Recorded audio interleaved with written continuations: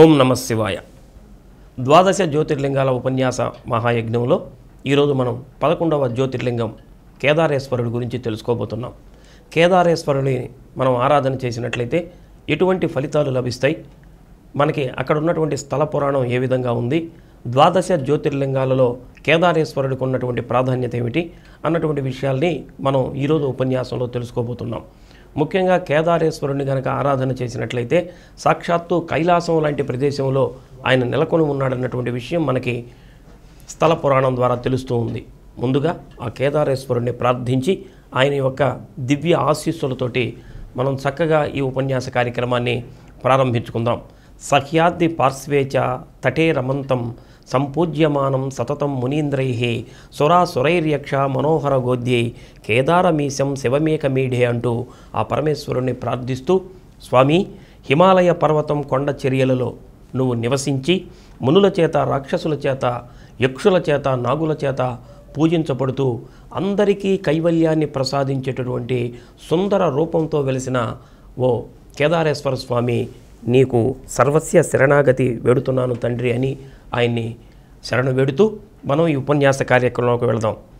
కేదార్నాథ్ అంటే కైలాసానికి వెళ్ళేటటువంటి దారి అని అర్థం. కైలాసానికి వెళ్ళేటటువంటి దారి ఎవరు చూపిస్తారా అంటే కేదారేశ్వరుడు చూపిస్తాడు. కేదారేశ్వరుడి దగ్గరికి వెళ్ళటమే కైలాసానికి వెళ్ళేటటువంటి మార్గంగా మనం చెప్పుకోవచ్చు. అక్కడికి వెళ్ళామంటే మనం కైలాసానికి చేరుకున్నట్లే అన్నటువంటిది ఇక్కడ ఉన్నటువంటి స్థల పురాణం ద్వారా మనకి తెలుస్తున్నది. ఇక్కడి దర్శనం ఎంతటి అదృష్టం ఎంతటి పుణ్యఫలం అన్నటువంటి విషయం కూడా మనకి స్థల పురాణం ద్వారా మనం తెలుసుకోవచ్చు. ముఖ్యంగా కేదార్నాథ్కి మనం చేరుకోవాలంటే ఢిల్లీకి వెళ్ళాలి ముందుగా. ఢిల్లీకి వెళ్ళి ఢిల్లీకి ఐదు వందల కిలోమీటర్లో ఈ కేదారేశ్వరం ఉంది. పదకొండు వేల ఐదు వందల అడుగుల ఎత్తులో హిమాలయ పర్వత శ్రేణుల్లో ఈ కేదారేశ్వరం ఉంది.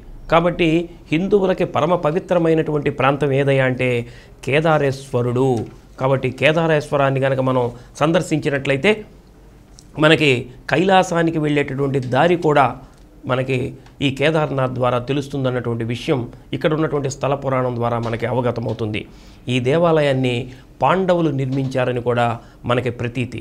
ఎందుకనంటే దీనిని దీనికి నిదర్శనంగా ఆ దేవాలయంలో పాండవుల యొక్క విగ్రహాలతో పాటు కుంతీమాత యొక్క విగ్రహం కూడా ఆ కేదారేశ్వరం యొక్క దేవాలయంలో ఉన్నట్లు మనకి తెలుస్తున్నటువంటి అంశం. ఈ దేవాలయానికి వెళ్ళే దారిలో ఆరు నుంచి ఏడు నెలల పాటు మంచుతో కప్పబడి ఉంటుందట. కాబట్టి ఆరు నెలల నుంచి ఏడు నెలల పాటు ఈ దేవాలయాన్ని మూసే ఉంటారు. కాబట్టి అంటే దీని అర్థం ఏమిటి? దీపావళి మొదలుకొని మనకి మే మాసం వరకు కూడా ఇక్కడ ఈ దేవాలయాన్ని మూసే ఉంటారు కాబట్టి మిగిలినటువంటి కాలంలో భక్తులందరూ ఇక్కడికి విరివిగా స్వామివారిని దర్శించుకోవడానికి వస్తారు. అంటే ఆశ్వయుజ మాసం నుంచి వైశాఖ మాసం వరకు ఈ దేవాలయాన్ని మూసే ఉంటారు అన్నటువంటి విషయం మనకి తెలుస్తుంది. ఈ కాలంలో స్వామివారికి ఇక్కడ పూజలు అవన్నీ ఉండవు కదా. అందుకని ఈ కాలంలో ఆ పర్వత శ్రేణిలో దిగువన ఉన్నటువంటి ఉక్కినాథ్ ఆలయంలోనే ఈ కేదారేశ్వర స్వామివారికి కూడా నిత్యం పూజలు చేస్తూ ఉంటారు. ఆశ్వయుజ మాసంలో మూసినటువంటి ఈ దేవాలయాన్ని తర్వాత మూసేటప్పుడు ఈ ఎప్పుడైతే ఈ దేవాలయాన్ని క్లోజ్ చేస్తున్నారో ఆ సమయంలో స్వామివారి ముందు ఒక జ్యోతిని వెలిగిస్తారట. ఆ వెలిగించినటువంటి జ్యోతి అశ్వయుజ మాసంలో వెలిగించినటువంటి జ్యోతి మే నెలలో తిరిగి తెరిచినప్పటికి కూడా ఆ జ్యోతి అఖండ జ్యోతిగానే వెలుగుతుంది అన్నటువంటి యథార్థమైనటువంటి సత్యం.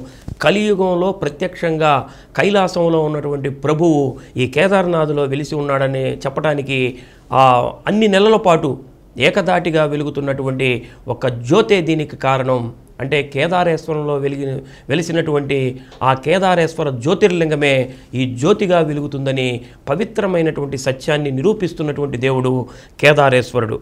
అందుకనే ప్రతి సంవత్సరం ఆ తెరిచినటువంటి కాలంలో లక్షలాది మంది భక్తులు ఈ కేదారేశ్వరం యాత్రకెళ్ళి స్వామివారిని దర్శించుకుంటారు. కేదారేశ్వరం యాత్ర వెళ్ళటం వెళ్ళటం అంటే ఆ మామూలు విషయం కాదు కష్టతరమైనటువంటి విషయం. అయినా కానీ అన్ని కష్టాల కూర్చు కూడా కేదారేశ్వరుణ్ణి దర్శనం చేసుకునేటటువంటిది హిందువులకి పరమ పవిత్రమైనటువంటి పుణ్యక్షేత్రంగా ఈ క్షేత్రం భాషిస్తుంది. ఇది ఆ ఢిల్లీకి ఐదు వందల కిలోమీటర్లో పదకొండు వేల ఐదు వందల అడుగుల ఎత్తులో ఉందని మనం ఇప్పుడే చెప్పుకున్నాం. అయితే ఎలా వెళ్ళాలి ఈ క్షేత్రానికి? అని అంటే మనం ఏ ప్రాంతంలో ఉన్నటువంటి వాళ్ళైనా సరే ఈ కేదారేశ్వరానికి కనుక వెళ్ళాలంటే ముందుగా ఢిల్లీకి చేరుకోవాలి.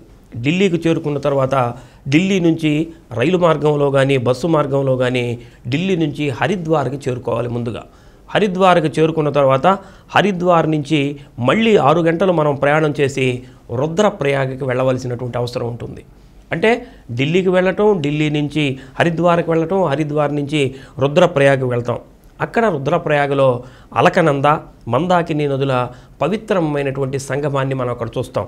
చూడండి బద్రీనాథ్ నుంచేమో అలకనంద మనకి కేదారేశ్వరం నుంచినేమో మందాకిని నదులు ఒక్క చోటకొచ్చి ఇక్కడే కలుస్తాయి. ఇక్కడ ఉన్నటువంటి సంగమంలో మనం చక్కగా స్నానాదులు కూడా ఇక్కడ చేసుకొని ప్రయాణానికి సిద్ధమవుతాం.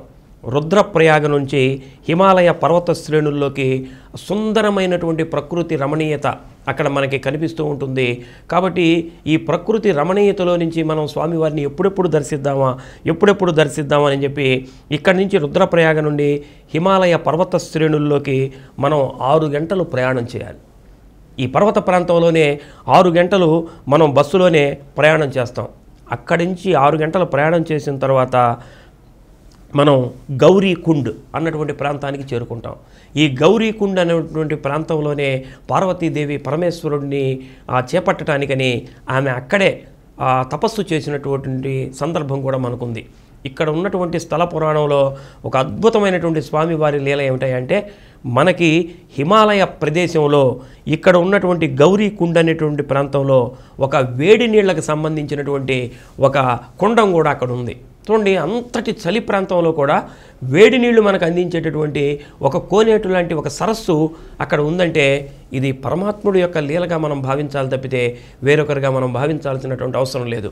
ఇంత శ్రమ కోర్చి అక్కడికి వెళ్ళినటువంటి భక్తులు ఆ చలిలో ఆ కుండంలో ఉన్నటువంటి వేడి నీళ్ళతోటి స్నానం చేసి సేద తీరి అక్కడి నుంచి మళ్ళీ బయలుదేరి వెళ్తారు. అక్కడి నుంచి ఈ కుండం నుంచి పక్కనే ఉన్నటువంటి గౌరీమాత విగ్రహం కూడా అక్కడ ఉంటుంది. ఎందుకని? పార్వతీదేవి అక్కడ తపస్సు చేసిందన్నాం కాబట్టి అక్కడ పార్వతీదేవి ఆలయం కూడా ఉంటుంది. ఆ పార్వతీదేవిని అక్కడ మనం దర్శించుకుంటాం.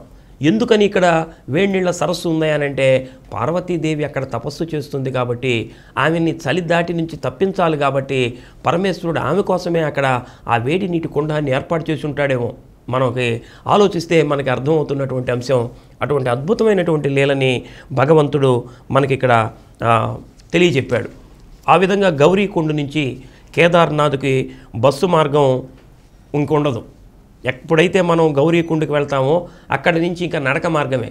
అక్కడి నుంచి కేదార్నాథ్కి వెళ్ళటానికి ఎటువంటి బస్సు సౌకర్యం కానీ ఇటువంటి ఉండవు. కాకపోతే అక్కడి నుంచి పద్నాలుగు కిలోమీటర్లు మనకి మూడు మార్గాలు ఉంటాయి ఆ మూడు మార్గాలు ఏమిటాయి అంటే ఒకటి నడక మార్గం. ఇంకొకటి మనం అశ్వం మీద గుర్రం మీద వెళ్ళేటటువంటి మార్గం ఇంకొక మార్గం డోలీలో వెళ్ళేటటువంటి మార్గం కూడా ఉంటుంది. కాబట్టి మనకి అశ్వం మీద వెళ్ళేటటువంటి వాళ్ళు గుర్రం మీద వెళ్ళేవాళ్ళు డోలీలో వెళ్ళేవాళ్ళు వాళ్ళు కొంత రుసుము చెల్లించి స్వామివారి దగ్గరికి ప్రయాణం అవుతారు ఈ ప్రయాణంలో వచ్చేటటువంటి మొట్టమొదటి మజిలి అంటే నడకదారిలో వచ్చేటటువంటి మొట్టమొదటి మజిలి రాంబాలా అన్నటువంటి ప్రాంతం మనకు వస్తుంది అక్కడ కాసేపు మనం విశ్రాంతి తీసుకొని మళ్ళీ ఆ మజిలీ నుంచి రెండవ మజిలీకి మనం ప్రయాణమవుతాం. ఆ రెండవ మజిలీలో గరుడ్ జట్టి అన్నటువంటి ప్రాంతం రెండో మజిలీగా మనం వెళ్తాం. ఈ గరుడ్ జట్టికి ఎప్పుడైతే వెళ్తామో కేదారేశ్వర్లో ఉన్నటువంటి స్వామివారి శిఖర దర్శనం మనకు అవుతుంది. కాబట్టి ఈ గౌరీకుడ్ నుంచి ఒకసారి స్వామివారి యొక్క శిఖర దర్శనం చేసుకొని ఓం నమ శివాయ ఓం నమ శివాయ శంభో శంకర హరహర మహాదేవ శంభో శంకర అని భక్తుల యొక్క నాదాలతోటి ఆ ప్రాంతం అంతా దద్దరిల్లిపోతుందంటే మారుమోగుతుందంటే పరమేశ్వరుడు మనకి గరుడ్ జట్టి దగ్గరికి వెళ్ళినప్పుడే మనకి దర్శనమిస్తున్నాడు అన్నటువంటి అనుభూతిని వాళ్ళ మనసులో పెట్టుకొని ఎప్పుడెప్పుడు ఎప్పుడెప్పుడు మనం కేదార్కి వెళ్తామా స్వామివారిని దర్శనం చేసుకుంటామా అని ఆతృతతోటి భక్తులు కూడా స్వామివారి యొక్క నామాన్ని నిత్యం జపిస్తూ ఓం నమశివాయ ఓం నమశివాయ అని జపిస్తూ వాళ్ళు పడినటువంటి కష్టాన్ని కూడా ఇన్ని వేల మైళ్ళ దూరం వెళ్ళినటువంటి కష్టాన్ని కూడా మర్చిపోయి స్వామివారి దర్శనానికి వాళ్ళు వెళ్ళటం జరుగుతుంది. ఇక్కడ మనకి స్వామివారు కేదారేశ్వర జ్యోతిర్లింగంగా ఎలా వెలిశాడు అన్నటువంటి విషయాన్ని మనం ఇక్కడ పురాణ గాథ ద్వారా కూడా మనం తెలుసుకోవచ్చు. కృతయుగంలో నరనారాయణులు తపస్సు చేసి మెప్పించి ఆ పరమేశ్వరుణ్ణి ఇక్కడ కేదారేశ్వర జ్యోతిర్లింగంగా మీరు ఇక్కడ ఉండండి వారి కోరిక మేరకు పరమేశ్వరుడు కేదారేశ్వర జ్యోతిర్లింగంగా ఇక్కడ వెలిసినట్లు స్థల పురాణం ద్వారా తెలుస్తుంది. శ్రీ మహావిష్ణువు అంశంగా ఈ నరనారాయణులు ధర్మదేవతకి కుమారులుగా జన్మించడం జరిగింది. ఈ ధర్మదేవతకు కుమారులుగా జన్మించినటువంటి నరనారాయణులు కూడా హిమాలయ ప్రాంతంలో ఉన్నటువంటి అత్యంత శోభాయమానంగా ఉన్నటువంటి ఈ ప్రాంతాన్ని వాళ్ళు ఎన్నిక చేసుకొని ఇక్కడ ఉన్నటువంటి బదిరికాశ్రమంలో నివాసం ఉండి అక్కడ స్వామివారిని అర్చన చేస్తూ స్వామివారి యొక్క పార్థివలింగాన్ని వాళ్ళు తయారు చేసుకొని ఆ పార్థివలింగానికే స్వామివారికి అర్చన చేస్తూ ఉంటారు. ముఖ్యంగా అక్కడ ఉన్నారు కాబట్టి వాళ్ళు మందాకిని సరస్సులో నుంచి జలాన్ని తీసుకొచ్చి స్వామివారి మీద అర్చన చేయటం. అలానే మారేడు దళాలు తీసుకొచ్చి స్వామివారికి అర్చన చేయటం అలానే తామర పువ్వులను తెచ్చి స్వామివారికి అర్చన చేయటం పరమ పవిత్రమైనటువంటి ఈ కార్యక్రమాన్ని వాళ్ళు నిరంతరం అంటే ఈ పూజా కార్యక్రమాన్ని కూడా ఒక తపస్సులాగా భావించి నరనారాయణులు చేస్తూ ఉన్నటువంటి సందర్భంలో వీరి భక్తికి మెచ్చి సాక్షాత్తు పరమేశ్వరుడే సాక్షాత్కరించి నరనారాయణులారా మీకు ఏం వరం కావాలో కోరుకోమని అడుగుతాడు. స్వామి మేము సర్వసంగ పరిత్యాగులం. మా తండ్రి సాక్షాత్తు ధర్మదేవత. ధర్మాన్నే మాకు ప్రబోధించాడు. మేము అధర్మంగా ప్రవర్తించే వాళ్ళం కాదు. లోక కళ్యాణం కోసమే మేము చేసేటటువంటి పూజలు. మాకు వ్యక్తిగతమైనటువంటి కోరికలు వాంఛలు ఏమీ లేవు. మేము చేసే ప్రతి పూజ కూడా లోక కళ్యాణం కోసమే ఆశించి చేస్తున్నాం అని చెప్పినప్పుడు పరమేశ్వరుడు కూడా ఆనందభరితుడై మీకు సద్గతి లభించుగాక అని వారిని దీవించడం జరుగుతుంది. అప్పుడు వాళ్ళిద్దరూ కూడా నరనారాయణులు కూడా స్వామి మీరు మమ్మల్ని అనుగ్రహించడానికి ఇక్కడికి వచ్చారు. కాబట్టి మేము చేస్తున్నది లోక కళ్యాణం కోసం ఈ పూజా కార్యక్రమాలు చేస్తున్నాం కాబట్టి మీరు కూడా మానవ కళ్యాణం కోసం శుభంకరుడివై ఇక్కడే ఉండిపో అని వాళ్ళు వేడుకున్నటువంటి సందర్భంలో ఎక్కడైతే కేదారేశ్వరంలో ఈ కార్యక్రమం చేస్తున్నారో స్వామివారు అవతరించాడు కాబట్టి ఆయన కేదారేశ్వర జ్యోతిర్లింగంగా వారు స్వామివారు అక్కడ ఆవిర్భవించటం జరిగింది. వారి ప్రార్థనని మన్నించే స్వామివారు ఇక్కడ వెలవటం జరిగింది. అలానే అంటే కృతయుగంలో జరిగినటువంటి విషయం ఇది. త్రేతాయుగంలో కూడా ఉపమన్యు మహర్షి అనే ఆయన స్వామివారిని ఆరాధించినట్టు కూడా మనకి స్థల పురాణం ద్వారా తెలుస్తుంది. అలానే ద్వాపర యుగానికి వస్తే పాండవులు కూడా స్వామివారిని ఆరాధించినట్లు మనకు తెలుస్తుంది. కాబట్టి ఈ ఆలయాన్ని పాండవులు నిర్మించారని మనం ఇందాకనే చెప్పుకున్నాం. కాలక్రమంలో ఈ ఆలయం శిథిలావత్సకు చేరింది. శిథిలావస్థకు చేరినటువంటి సందర్భంలో జగద్గురువులు ఆదిశంకరులు ఈ క్షేత్రాన్ని దర్శించడానికి వచ్చి శిథిలమైనటువంటి ఈ దేవాలయాన్ని చూసి ఆదిశంకరులే ఈ దేవాలయాన్ని పునర్నిర్మించారు అన్నటువంటి ఇది కూడా ఇక్కడ ఉన్నటువంటి స్థల పురాణం ద్వారా మనకు తెలుస్తుంది. ఆదిశంకరులు తమ శరీరాన్ని త్యాగం చేసిన తర్వాత సజీవ సమాధి అయిన తర్వాత ఆ సజీవ సమాధి కూడా ఈ కేదారేశ్వరి ఆలయం వెనకే ఆయన సమాధి మందిరం ఉన్నది. కాబట్టి పరమ పవిత్రమైనటువంటిది సాక్షాత్తు పరమేశ్వరుడు సాక్షాత్తు పరమేశ్వరుడి అంశగా వెలిసినటువంటి ఆదిశంకరుల సమాధి కూడా ఇక్కడే ఉంది కాబట్టి ఈ క్షేత్రాన్ని చూసినటువంటి వాళ్ళందరూ కూడా పరమ పునీతులు కావటం తజ్యం తజ్యం తజ్యం అని ఈ మనకి ఈ స్థల పురాణం ద్వారా తెలుస్తుంది. ఈ శివాలయంలో శివాలయం అంటే మనకి అర్థం ఏమిటి? శివలింగం ఉంటుంది అనుకుంటాం. కానీ ఈ కేదారేశ్వరంలో ఉన్నటువంటి శివలింగం అన్ని శివాలయాలలో ఉన్నట్లుగా శివలింగం లాగా ఇక్కడ ఉండదు. ఇక్కడ ఎందుకు ఉండదంటే దీనికి కూడా ఒక పురాణ కథనాన్ని ఒక జరిగినటువంటి యథార్థ సత్యాన్ని మనకి ఇక్కడ చెప్పడం జరుగుతుంది. ద్వాపర యుగంలో పాండవులకి కౌరవులకి యుద్ధం జరిగిన తర్వాత కౌరవుల మీద విజయం సాధించినటువంటి పాండవులు కాశీలో ఉన్నటువంటి విశ్వేశ్వరుని ఒకసారి దన్ సందర్శించి వారిని పూజ చేసిన తర్వాతే మనకి ఈ విజయం సంప్రాప్తించింది కాబట్టి ఆ పరమేశ్వరుడికి తమ కృతజ్ఞతలు తెలి తెలియచెప్పుకొని ఆయన ఆశీస్సులు పొందాలనే ఉద్దేశంతో పాండవులందరూ కాశీ ప్రయాణం అవుతారు. వీళ్ళు వస్తున్నారని తెలిసి వీళ్ళకి ఆశీర్వచనం ఇవ్వటం ఇష్టం లేనటువంటి పరమేశ్వరుడు అక్కడి నుంచి ఆయన ఆ బయలుదేరి గుప్త కాశీకి అంటే రుద్రప్రయాగకి కాశీ విశ్వేశ్వరుడు ప్రయాణమై వస్తాడు. ఈ విషయాన్ని తెలుసుకున్నటువంటి పాండవులు కూడా ఆయన్ని వెంబడించి రావటం జరుగుతుంది. వెంబడించి వచ్చి మళ్ళీ పరమేశ్వరుడిని ఈ గుప్త కాశీలో కూడా పట్టుకుంటారనే ఉద్దేశంతో ఆ పరమేశ్వరుడు తన రూపాన్ని నంది రూపంగా మార్చుకొని ఆయన వెళుతూ ఉంటాడు. ఈ విషయాన్ని భీముడు గమనిస్తాడు. ఈ విషయాన్ని భీముడు గమనించినటువంటి భీముడు తన గద్దతో తన గదతోటి తన చేతిలో ఉన్నటువంటి అస్త్రం ఏదైతే గద ఉందో ఆ గదతోటి నంది యొక్క వెనుక భాగాన్ని కొడతాడు. నంది యొక్క వెనుక భాగాన్ని కొట్టి ఆ నందిని పట్టుకోవాలని చెప్పి ప్రయత్నించినప్పుడు ఆ నందిలో ఉన్నటువంటి వెనక భాగం మన భీముడి చేతిలోకి వస్తుంది.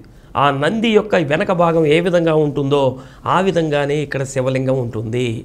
అంటే త్రికోణ ఆకారంలో మనకి నంది యొక్క వెనక భాగం ఉంటుంది కాబట్టి ఈ కేదారేశ్వరంలో ఉన్నటువంటి శివలింగం కూడా త్రికోణ ఆకారంలో ఉంటుంది.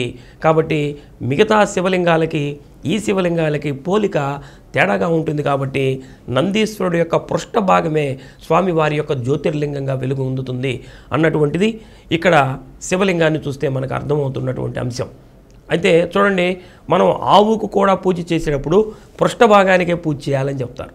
కాబట్టి పృష్ఠభాగానికి చేసేటువంటి పూజే ముక్కోటి దేవతలు కూడా చెందుతుందని చెప్తారు. అలానే ఇక్కడ నంది కూడా వెనక భాగాన్ని పూజ చేయటం వల్ల ముక్కోటి దేవతలకి పూజ చేసినటువంటి ఫలితం లభిస్తుందని ఇక్కడ స్వామివారు ఈ రూపంలో వెలవటం జరిగింది. అయితే ఇక్కడ ఉన్నటువంటి స్వామివారికి మామూలుగా అన్ని ఆ శివుడి కంటే మనకు పంచామృతాభిషేకాలు చేస్తాం. ఇక్కడ ఉన్నటువంటి స్వామికి శివలింగం మీద ఆవు నెయ్యిని రాస్తూ ఉంటారట. ఎందుకు రాస్తారా అంటే నంది రూపంలో ఉన్నటువంటి పరమేశ్వరుడిని భీముడు గదతో కొట్టాడు కాబట్టి ఆయన వెనక భాగం కొద్దిగా గాయాలైనవి కాబట్టి ఆ గాయాలకి లేపనంగా ఆవు నెయ్యిని రాస్తుంటారని ఇక్కడ చెబుతూ ఉంటారు. ఇది సంప్రదాయం ఇక్కడ.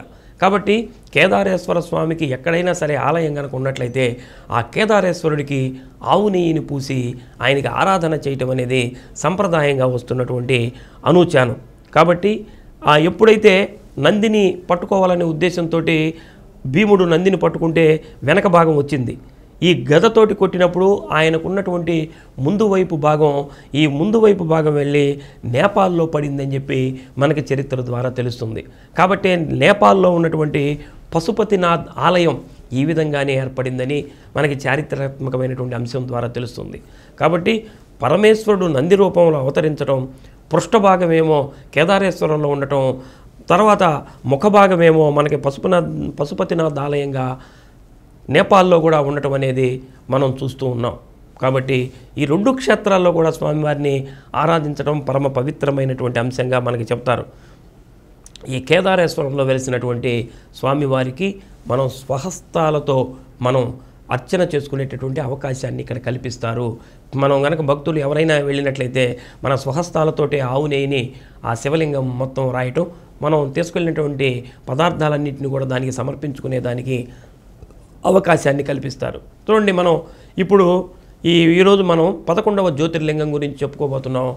ఇక్కడ ఉన్నటువంటి ఈ పదకొండు జ్యోతిర్లింగాలను కూడా మనం స్వహస్తాలతో అర్చన చేసుకునే అవకాశాన్ని భగవంతుడు మనకు కనిపించాడు కల్పించాడు. కాబట్టి శివలింగాన్ని స్పర్శించడమే మన అదృష్టమైతే ఇక జ్యోతిర్లింగాలని మనం స్పర్శించడం అంటే భగవంతుడు మనకి పూర్వజన్మ సుకృతంగా ఇటువంటి భాగ్యాన్ని కల్పించాడు అన్నటువంటి విషయాన్ని మనం తెలుసుకోవచ్చు. ఇటువంటి పుణ్యక్షేత్రంలో ఉదయం తెల్లవారుజామున అసలే చలి తెల్లవారుజామున ఐదు గంటలకి ఆ మంచు ప్రాంతంలో ఎవరుంటారు? అయినా సరే ఐదు గంటలకు చేసేటటువంటి స్వామివారికి చేసేటటువంటి అభిషేకం ఆ కన్నుల పండుగగా ఉంటుంది కాబట్టి ఆ సమయంలో చూడటానికే భక్తులు వేలాదిగా తరలి వస్తారంటే స్వామివారి మహిమ అంతా ఇంతా కాదు అన్నటువంటి విషయం మనకి తెలి తెలుస్తూ ఉంది. తెల్లవారుజాము అయిపోయింది. ఉదయాన్నే తూర్పు నుంచి సూర్యకిరణాలు వస్తాయి. వచ్చినటువంటి సూర్యకిరణాలు ఎప్పుడైతే హిమాలయ పర్వతం మీద పడతాయో ఆ హిమాలయ పర్వతం శిఖరం ఏ విధంగా ఉంటుందంటే వెండి కొండలాగా దగదగాయమానంగా వెలుగొందుతూ ఉంటుందట. అంటే ఆ సన్నివేశం ఆ సమయంలో సూర్యకిరణాలు పడినప్పుడు ఆ హిమాలయ పర్వత శిఖరాన్ని కనుక మనం చూస్తే వెండి కొండలాగా మెరిసిపోతుంది. కాబట్టి సాక్షాత్తు కైలాసంలో పరమేశ్వరుడు ఉన్నాడు. ఇదిగో ఇక్కడే ఉంది కైలాసం. కాబట్టి మనం వెళ్ళాలి అన్నటువంటి ఆతృత ప్రతి అందరిలో కూడా కలుగుతుంది. అంటే కైలాసానికి మనం చేరువులోకి వచ్చాం అన్నటువంటి అనుభూతి కేదారేశ్వర్ యొక్క దర్శన భాగ్యం చేత కేదారేశ్వరానికి వెళ్ళటం ద్వారా మనకి లభిస్తుందని చెప్పి ఇక్కడ ఉన్నటువంటి స్థల పురాణం ద్వారా మనకి మనకు తెలుస్తుంది. కొన్ని వందల సంవత్సరాల నుంచి ఇక్కడ మునులు ఋషులు కూడా ఇక్కడ ఉండి స్వామివారికి అర్చన చేస్తున్నారు అన్నటువంటి విషయం మనకు తెలుస్తుంది. మనం స్వామివారి ఆలయం మూసేటటువంటి సమయంలో ఈ వీళ్ళందరూ ఈ మునులు దేవతలు కూడా ఒక జ్యోతి స్వరూపంలో వచ్చి స్వామివారికి అర్చన చేసి వెళ్తారన్నటువంటి స్థల పురాణం కూడా నేటికి కూడా ఇప్పుడు మనకి తెలుస్తూ ఉన్నటువంటి అంశం. అంత చలిని కూడా లెక్క చేయకుండా హిమాలయ ప్రాంతంలో సంవత్సరం పొడుగున భక్తులు భక్తులు దర్శించుకోవడానికి అవకాశం ఉండదు. మునులు ఋషులు ఇక్కడ తపస్సులు చేసుకుంటూ స్వామివారిని దర్శించుకుంటున్నారంటే వాళ్ళు మనకి కనిపించకుండానే ఆ అంతర్ముఖంగా ఆ ప్రాంతంలోనే సంచరిస్తూ ఉన్నారు ఋషులు మునులు. కాబట్టి ఆ ప్రాంతంలో ప్రతి అణు అణువు కూడా పరమ పవిత్రమైనది. కాబట్టి అక్కడికి మనం ప్రవేశిస్తున్నామంటేనే మనం కైలాసంలోకి ప్రవేశిస్తున్నామా అన్నటువంటి అనుభూతి ప్రతి ఒక్కళ్ళలో కలుగుతుంది కాబట్టి మన మనస్సుల్ని పవిత్రంగా నిర్మలంగా చేసుకొని స్వామిని దర్శించుకోవాలన్నటువంటి విషయం మనకి ఇక్కడ తెలుస్తుంది. ఇదే కాకుండా ఇక్కడ అద్భుతమైనటువంటి క్షేత్రం ఇది. దీన్ని మనం ఎందుకని అద్భుతమైనటువంటి క్షేత్రం అన్నామంటే కాలడిలో పుట్టినటువంటి కేరళలో ఉన్నటువంటి కాలడిలో పుట్టినటువంటి ఒక మహాత్ముడు హిందూ ధర్మ పరిరక్షణ కోసం అవతరించినటువంటి జగద్గురు ఆదిశంకరులు ఈ ఇక్కడికి విచ్చేసి ఇక్కడ ఆలయాన్ని మళ్ళీ పునర్నిర్మించి హిందూ ధర్మ పతాకాన్ని ఇక్కడ ఎగరవేసినటువంటి ఆదిశంకర్లు తన ముప్పై రెండు సంవత్సరాల ఆయుష్ పూర్తయిన తర్వాత తన తనువుని ఎక్కడ చాలించాలంటే ఎక్కడ చాలించాలి? కైలాసానికే వెళతాడు కాబట్టి ఆ కైలాసం మార్గ మధ్యంలోనే ఆయన సజీవ సమాధిగా అయి ఈ కేదారేశ్వరుడికి వెనక భాగంలోనే ఆయన సమాధి మందిరం ఉందంటే ఎంత పరమ పవిత్రమైనటువంటి క్షేత్రమో మనకి చెప్పకనే చెబుతున్నటువంటి అంశంగా మనం ఈ క్షేత్రం గురించి చెప్పుకోవచ్చు. అలానే పాండవుల యొక్క తండ్రి పాండురాజు కూడా ఇక్కడ మరణించాడని ఐతిహ్యం కూడా ఉంది. చూడండి మనం కాశీలో మరణించాలనుకుంటాం. కాశీలో మరణిస్తే పుణ్యం లభిస్తుంది. ఇక మళ్ళీ మను మరుజన్మ ఉండదని అనుకుంటాం. అటువంటిదే ఇక్కడ కేదారేశ్వరంలో కూడా ఉంది.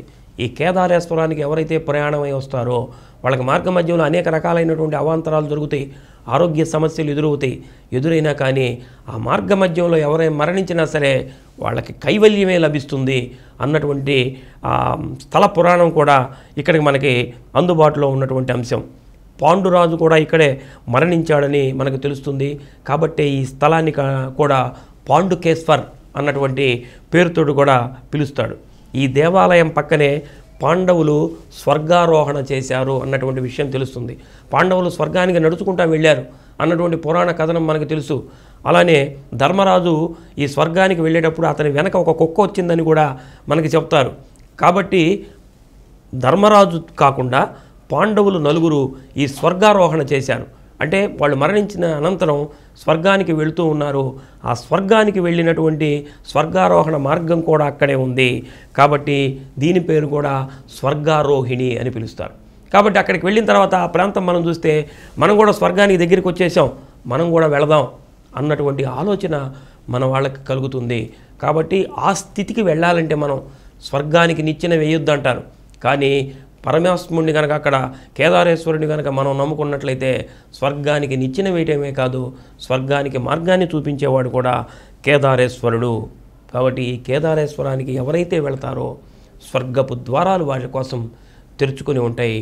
కాబట్టి పరమ పవిత్రమైనటువంటి ఈ స్వామిని గనక ఆరాధన చేసినట్లయితే ముక్తి లభిస్తుంది.